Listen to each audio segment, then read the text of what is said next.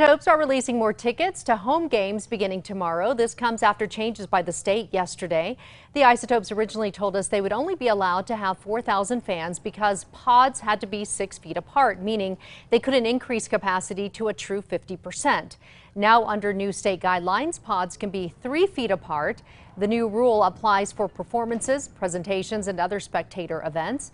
Because of this, the Isotopes can seat about 6,300 fans. The team is adding more pods for all May home games.